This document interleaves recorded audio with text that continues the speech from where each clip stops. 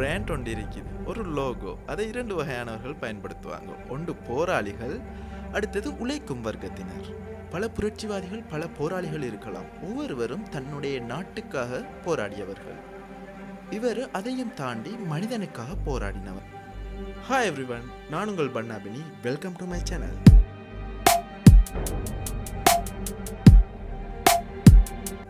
அடுத்து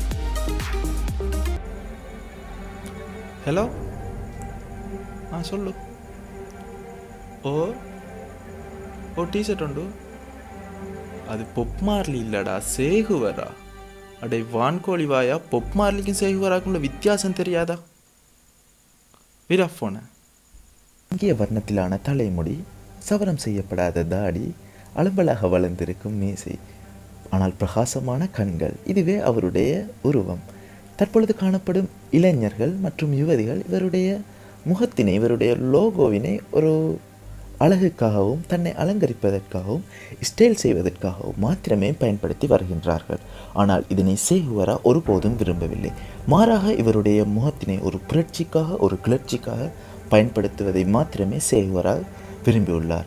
ஆயிரத்தி தொள்ளாயிரத்தி இருபத்தி எட்டு ஆர்ஜென்டினாவில் பிறந்த சேகுவரா ஒரு மருத்துவராக காணப்பட்டார். அவருடைய மருத்துவ பீட கல்வியின் போது இரண்டு வகையான நோய்களால் பாதிக்கப்பட்டார்.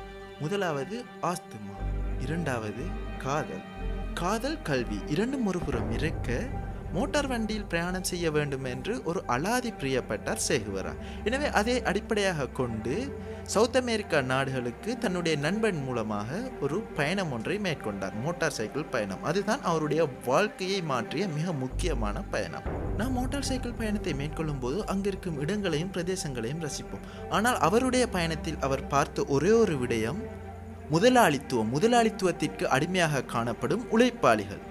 இவர்களை தான் நாங்கள் பார்த்துருக்காங்க. அதை பார்த்ததுக்கு பிறகு அவங்களோட மைண்டில் தோன்றின ஒரே ஒரு விஷயம் என்னைக்காவது ஒரு நாள் உழைக்கும் வர்க்கத்திற்கு உயர்வும் முதலாளித்துவத்தையும் புறக்கணிக்கணும் என்ற சபதத்தை மனசில் அந்த மோட்டார் சைக்கிள் பிரயாணத்தின் மூலமாகவே அவர் பெற்றுக்கொள்கிறாரு வாழ்க்கையில் முதலாவது போராட்டமாக பிடல் காஸ்ட்ரோவினால் ஏற்பட்ட நட்பின் மூலமாக கியூபாவிற்காக போராடுகின்றார்.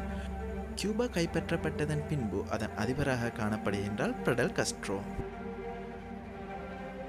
அவருடைய மனதிற்குள் முதலாளித்துவத்தில் இருந்து அடிமைப்பட்டிருக்கும் நாடுகளை விடுவிக்க வேண்டும் என்ற எண்ணம் மாறவில்லை. மீண்டும் அடுத்த நாட்டிற்கு போக வேண்டும் என்று புறப்பட்டார் சேகுவரா. ஆனால் காங்கோ நாடு சென்ற பிறகுதான் தெரியும் அங்கு இருப்பவர்கள் கருப்பினத்தவர்கள் படிப்பறிவு அற்றவர்கள். அவருடைய போராட்டம் அவர் தன்னைத்தான் காப்பாற்ற வந்திருக்கிறார் என்ற விளக்கத்தை அவங்களால் விளங்க முடியாத அளவுக்கு படிப்பறிவற்றவர்களாகவே காணப்பட்டார். எவ்வளவு சேகுவரா அவங்கள்ட்ட விளங்கப்படுத்த பார்க்குறாங்க. நம்மளுடைய நாடு அடிமைப்பட்டிருக்குது. முதலாளித்துவ நாட்டு கீழே நம்ம அடிமைப்பட்டிருக்கோம். அமெரிக்க அரசாங்கத்தை கீழே அடிமைப்பட்டிருக்கோம் அவர் விளங்கப்படுத்த பார்க்குறாரு. அதை விளங்க முடியாத காங்கோ மக்கள் அவர் மூலமே போர் தொடுக்க முடியறாங்க அவரை கொள்றதுக்குரிய அச்சுறுத்தல் விடுக்கிறாங்க. மிச்சம் மனவேதனை அடைகிறாரு சேகுவரா. இதை தெரிஞ்ச பிரடல் கஷ்டம் உடனடியாக தூதுவரை அனுப்பி உடனடியாக சேகுவராவை அழைத்து வாருங்கள் சொல்லி அழைக்கிறாங்க. இதை வந்து தூதர்கள் சொல்கிறாங்க இவர்கிட்ட பிரடல் பிரடல் கஷ்டம் இப்படி சொல்லியிருக்கிறாங்க. உங்களை அழைச்சி வர சொல்லியிருக்கிறாங்க. நீங்கள் குயிக்கண்டு வாங்க அவசரமாக வாங்கன்னு அவங்க அவசரப்படுத்துகிறாங்க சேகுவராவின் மனதில் இருந்த ஒரே ஒரு விடயம் ஒன்றே ஒன்று தான் இந்த நாட்டு மக்கள் பாவம் படிப்பற்றவர்கள். நான் எவ்வளவோ இந்த நாட்டு மக்களுக்கு நான் உதவி செய்ய போகின்றேன் என்று சொல்லியும் அதை கூட இவர்களால் புரிந்து கொள்ள முடியவில்லை என்று மிகவும் ஒரு மனவேதனை படுகின்றார் நான் இந்த நாட்டை விட்டு வரமாட்டேன் என்று எவ்வளவோ கூறியும் பிடல் கஸ்டோவின் தூதர்கள் மீண்டும் அழைத்து அவங்களை கியூபாவிற்கே கொண்டு வந்து விட்டார்கள். சந்தர்ப்பத்திலே தான் அமெரிக்காவுடைய கழுகு பார்வை சேகுவரா மீது வீழ்கின்றது. சுருத்தலுக்கெல்லாம் பயப்படுவாரா சேகுவரா? அந்த பணங்காட்டினாரு அமெரிக்காவுடைய சலசலப்புக்கு அஞ்சவே இல்லை. மீண்டும் அடுத்த நாட்டை நான் அடிமையை விடுதலை செய்ய வேண்டும் என்று பொலிவியா செல்கின்றார். காங்கோ மக்களைப் போல படிப்பறிவற்ற மக்கள் அல்ல பொலிவியா மக்கள்கள். அவர்கள் படித்தவர்கள். முதலாவதாக சேகுவரா பொலிவியா நாட்டுக்குள்ளே போகிறாங்க போய் ஒரு முகாம் ஒன்றை அமைக்கிறாங்க. முகாம் ஒன்றை அமைச்சு அவங்களோட ஆயுத கிடங்காகவும் போராளிகளை திரட்டுற ஒரு இடமாகவும் காணப்பட்டுச்சு. அந்த முகாம் பொலிவியாவினுடைய அரசாங்கம் எவ்வாறாவது சேகுவராவை கொன்றாக வேண்டும் என்று அந்த அரசாங்கம் சூடு பிடிக்கின்றது அதன் விளைவாக சேகுவராவுடைய படை மூன்றாக பிரிக்கப்படுகின்றது. அதில் ஒரு படை சேகுவரா தலைமை தாங்கிய படை மாத்திரமே ஓரளவுக்கு வெற்றி பெற்றது. சரி நாம் மீண்டும் முகாமிற்கு சென்று தகவல் தொடர்பினை ஏற்படுத்தலாம் என்று சொல்லி ஒரு குறுக்கு பாதையினை தெரிவு செய்கின்றார்கள். அது ஒரு காட்டு வழி அதன் பேர் மரணக்காடு. அங்கு சாப்பிடவோ குடிக்கவோ எதுவுமே இருக்காது. அதுவே அவருடைய படையை கொஞ்சம் கொஞ்சமாக கொன்றது. கடைசியில் எஞ்சியவர்கள் பதினேழு வீரர்களே. அதன் பிறகு எதிரி இராணுவம் மீண்டும் தாக்கியது. கடைசியில் மீண்டும் எஞ்சியவர்கள் ஐந்து வீரர்களே. ஐந்து வீரர்களும் மிகவும் காயப்பட்டு கஷ்டப்பட்டு ஊனமுற்ற வகையில் இருந்தார்கள். அதை பொறுத்து கொள்ள முடியாத சேகுவரா ஆயுதத்தை கையில் எடுத்தார்.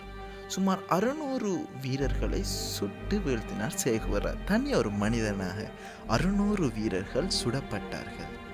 ஆனால் சேகுவராவும் ஒரு மனிதர் தானே? அவருக்கும் ஒரு ஆபத்து ஏற்பட்டது. ஹல்கோ தோரோ இல்லைன்னு அவர் ஒரு சாதாரண மனிதர் தான். அந்த யுத்தத்தில் அவரோட காலில் ஒரு துப்பாக்கியிலேருந்து வந்த ஒரு குண்டொன்று அவரோட காலில் பட்டு அவர் ஏலாமல் போகிறாரு அப்போ அவருக்கு பக்கத்தில் இருந்த நண்பர் சேகுவராவை தூக்கிட்டு அங்கிருந்து தப்பியாக வேணுமென்னு உடனடியாக ஒரு புதைக்குழி ஒன்றுக்குள்ளே ஓடுறாங்க. அங்கே கைது செய்யப்படுகின்றார் சேகுவரா. யாக கொள்ள சொல்லி அரசாங்கத்திலிருந்து உத்தரவு வருது. ஒரு பாடசாலை ஒன்றில் சேகுவராவை அடைச்சி வைக்கிறாங்க.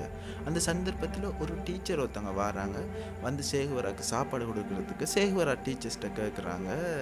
இது எந்த இடம்ண்டு இது ஒரு பாடசாலை என்று சொல்ல அவர் சிரிச்சிட்டு சொன்னார். ஏன் பாடசாலை இவ்வளோ ஒரு மோசமான நிலைமையில் இருக்குது? நான் இந்த போராட்டத்தில் வெற்றி பெற்றேன்டா. உங்களுக்கு புதிய பள்ளிக்கூடம் கட்டி தருவேன் அந்த டைமில் சேகுவர சேகுவரா சொல்கிறாங்க ஒரு வீரனுக்கு இருக்கக்கூடிய மிகப்பெரிய தைரியம் இதுதான் இல்லையா? அவரை அடைச்சி வச்சிருக்காங்க ஒரு பாடசாலையில் அடைச்சி வைக்கிறாங்க. அந்த சந்தர்ப்பத்திலையும் அவருடைய மன தைரியத்தை கடைசி வரைக்கும் அவர் விட இல்லை. இறுதியில் சேகுவராவனுடைய இறுதி கட்டம் வந்துச்சு. அவங்கள கொல்றதுக்கு உத்தரவு வந்துட்டு ஒரு இராணுவ வீரர்கிட்ட சொல்லி கொடுக்குறாங்க. இந்த இதால் சேகுவராவை சுட்டு கொல்லன்னு அந்த இராணுவ வீரருக்கு சேகுவரா மேலே இருந்த மரியாதை காரணமாக சுடுறாங்க சுடுறாங்க. அவங்களோட சேகுவரா பார்த்து அவங்களோட கை இராணுவ வீரரை கை நடுங்குது. உடனடியாக சேகுவரா அவங்களோட தோக்க பிடிச்சி நீ ஒரு இராணுவ வீரன். நீ ஒரு வீரனாக இருக்க வேண்டும். உன்னுடைய எதிரி நான் என்னை கொல்லும்போது உன்னுடைய கை இந்த அளவுக்கு தோக்க பிடிச்சி காட்டிட்டு சொல்கிறாங்க நான் சிரித்த மாதிரியே சிறுத்த படத்தில் வர மாதிரி என் கடைசி த சந்தர்ப்பம் என் கண்ணுக்கு விளங்குக்குள்ள நான் சிரித்த மாதிரி என்னோட மீசையை முறுக்கிட்டு நான் தைரியமாக சாகணும்னு சொல்கிற மாதிரி சேகுவரம் சொல்கிறாரு நான் சிரிச்சிட்டு மிச்சம் ஒரு கட்ஸான நான் கோழையாக செத்தது வைக்கப்படாது ரைட் தோக்க கொடுத்து சொல்கிறாங்க இப்போ என்ன? சுடுங்க. ஆயிரத்தி தொள்ளாயிரத்தி அறுபத்தி ஏழு சேகுவராவுடைய மரணம் உறுதி செய்யப்படுது. மார்புல குண்டடிபட்டு சேகுவரா இறக்குறாங்க. முப்பத்தி ஒன்பது வருடம் வரை வாழ்ந்திருக்கிறாங்க. சேகர் ஆயிரத்தி தொள்ளாயிரத்தி இருபத்தி எட்டுலேருந்து ஆயிரத்தி தொள்ளாயிரத்தி அறுபத்தேழு வரைக்கும். ஒருத்தர் எப்படி வாழணும் எல்லாத்தையும் தாண்டி ஒரு மனுஷனாக எப்படி வாழணுன்றதுக்கு ஒரு சிறந்த உதாரணமாக சொல்கிறேன்னா சேகுவராவை சொல்லலாம். சாதி என்று மதம் என்று பிரிக்கப்படாத மனுஷன் என்று சொல்கிற நம்மளே நாடு ரீதியாக ஊர் ரீதியாக பிரதேச ரீதியாக எப்பயும் நம்ம பிரிந்து தான் இருக்கிறோம்.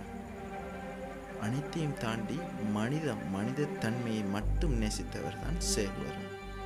சேகுவரா போல ஒரு பெருந்தலைவர் இதுக்கு முன்பும் வந்ததில்லை இதற்கு பிறகும் வரப்போவதில்லை. சேகுவரா எப்பொழுதும் சேகுவரா தான்